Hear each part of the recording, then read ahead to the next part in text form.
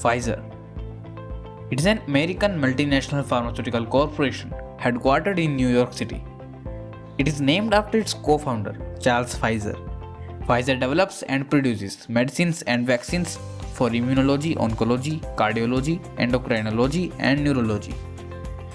Pfizer was founded in 1849 in New York. It is dedicated to better health and greater access to healthcare for people and their valued animals. Pfizer is the world's largest research based pharmaceutical company, employing more than 1 lakh people in more than 150 countries. Pfizer develops, manufactures, and markets prescriptions and OTC pharmaceuticals for humans. Pfizer was started with a loan of $2,500. But now, the company has several blockbuster drugs or products that each generate more than 1 billion US dollar in annual revenue. The best known products are Lipitor, which lowers the cholesterol level.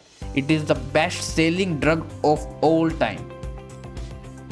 Celebrex is the another drug which is used for the pain management. Zoloft for the antidepressant and the Viagra. Viagra brought in 24 billion dollar revenue for a 13 year of period. The mission statement of Pfizer is to become the world's most valued company to patients, customers, colleagues, investors, business partners, and communities where they work and live. Pfizer provides some free and discounted drugs to those in developing countries. Pfizer invests more than $7.1 billion in research and development. Pfizer has also made vaccine for COVID 19.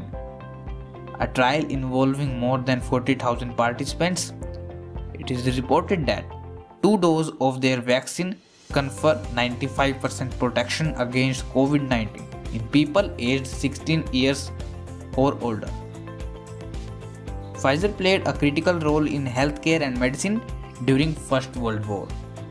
It manufactured antibiotics, painkillers, and disinfectants that reduce the amount of bacteria allowed to form when food is shipped throughout the world.